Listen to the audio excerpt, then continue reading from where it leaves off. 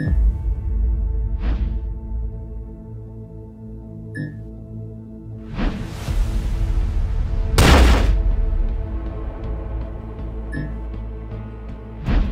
we go. No damage. Oh, actually, I'm sorry. Blame already picked off there. Now it's going to be a 3v3 here as the Black Dragons are going to come in here from the uh, ba uh, GR base here. Trading a lot of kills with each other. Snox is still up. Creeds is up. FaZe is up. For Golden V, can they make something happen? Snox has been very quiet this half and goes down Ooh, again with a whisper.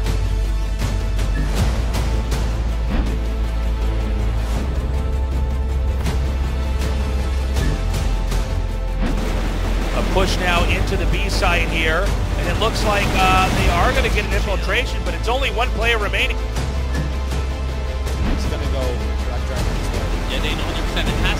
Pillars and immediately taken down by Adrian ADR. Action here at Vincent Gaming, they crush through very quickly on the first hand course. So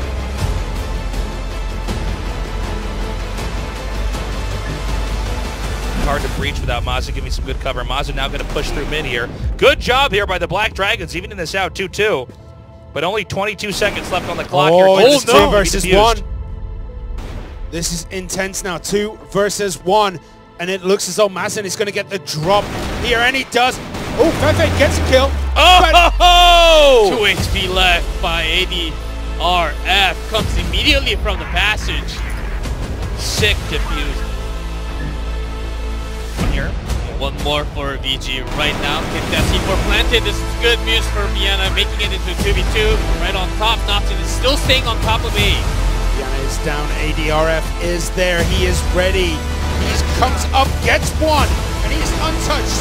He gets two. ADRF, massive play there. We've already got ourselves a very good series here.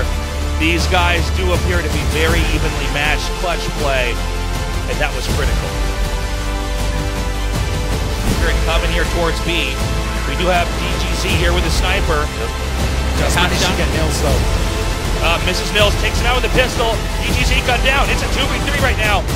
A mad rush over here to B, but one of the Black Dragon players is all the way on the opposite side of the map. ADRF. It does not matter. Black Dragons.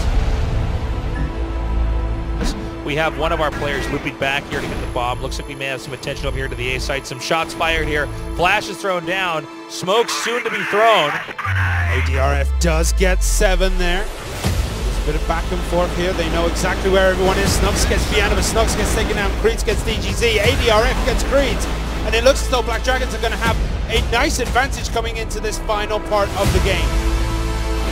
We have uh, the position being breached here. We have Golden V trying to come back. C4 is planted. 40 seconds on the ticker.